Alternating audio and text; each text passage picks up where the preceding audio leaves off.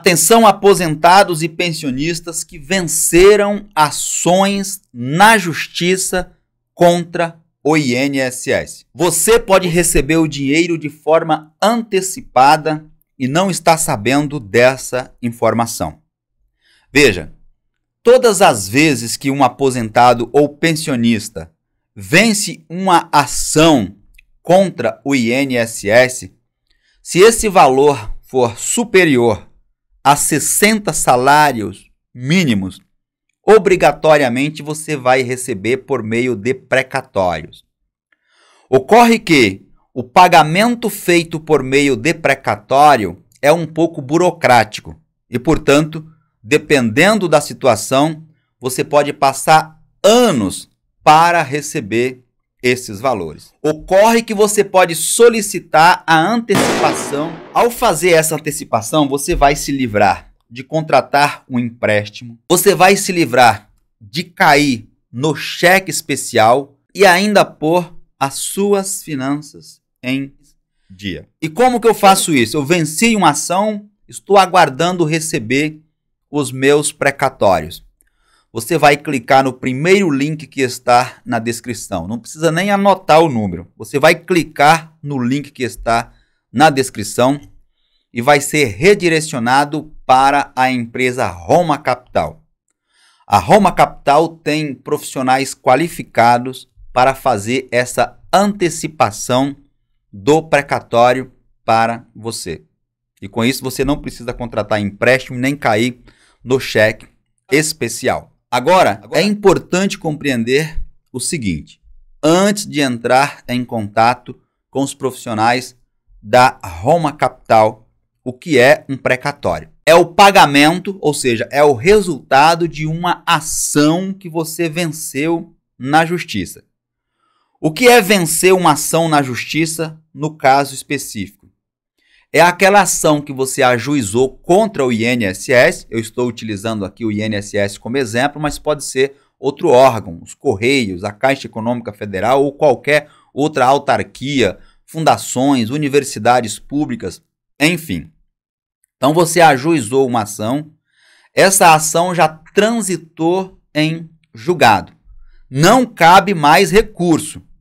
Tem que ser aquele caso em que você venceu a ação e não cabe mais recurso na justiça. Somente depois que esgotar todas as possibilidades de recurso é que é o judiciário vai... vai gerar um título, como se fosse um cheque para você receber, e esse, e esse título cheque... é o precatório que você está aguardando uma fila para receber esses valores. Se você estiver nessa situação, aí sim é possível fazer a antecipação desses valores por intermédio da Roma Capital, cujo link do WhatsApp deles está na descrição do vídeo. Outra coisa, como eu disse anteriormente, o precatório é referente a valores acima de 60 salários mínimos. E se o valor for menor que 60 salários mínimos, aí você recebe por meio de RPV, a requisição de pequeno valor. Para saber a situação em que o seu caso está, você pode entrar no site do tribunal por onde tramitou o seu processo e consultar na aba de acompanhamento processual se já tem a expedição do seu precatório. Basta seguir o passo a passo que eu estou deixando disponível na descrição do vídeo. Está escrito desse jeito, passo a passo para consultar o seu precatório. Quer ver mais um pouquinho dessa informação? Acompanhe o vídeo a seguir. Assista a este vídeo até o final e saiba como equilibrar suas finanças usando o seu precatório. Com a estabilidade econômica e o custo de vida cada vez mais alto, se faz necessário solicitar novos empréstimos. Quais são os vilões que contribuem para esse cenário? Dívidas com cartão de crédito, atrasos de pagamentos de empréstimos bancários e financeiras, cheque especial. Aposentados no Brasil passam por uma crise financeira sem precedentes. Você se encontra nesse cenário? Tenha um precatório. Você não precisa passar por isso. Resolva seus problemas financeiros. Negocie conosco seu precatório. Entre em contato e solicite uma proposta. A Roma Capital sabe o quanto é importante você se sentir seguro. Ou seja, olha o conceito. Precatório é um instrumento formal que garante o pagamento de uma quantia devida pela fazenda pública, pode ser da União, estados, municípios e Distrito Federal, a um credor em decorrência de uma decisão judicial definitiva, quando a justiça determina que o ente, no caso o INSS, o ente público, deve pagar uma quantia ao cidadão. Essa obrigação é chamada de precatório. Além da revisão de aposentadoria ou solicitação de aposentadoria, nós temos também outros exemplos de situações em que pode gerar um precatório. Quer ver quais são eles? Salários atrasados de servidor público, por exemplo, indenizações por danos morais causados pelo Estado, Desapropriação também gera precatório.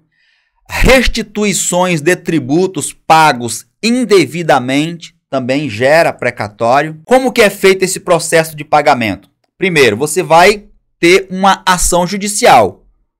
No caso do aposentado, ajuiza uma ação judicial contra a fazenda pública. O INSS é uma autarquia federal, portanto, quem vai pagar a derrota do INSS é a fazenda pública. É o, os cofres, são os cofres públicos. A decisão judicial. O juiz profere uma decisão, que é uma sentença definitiva, condenando, por exemplo, o INSS, o ente público. E aí, na sequência, ele vai fazer o quê? Expedição do precatório.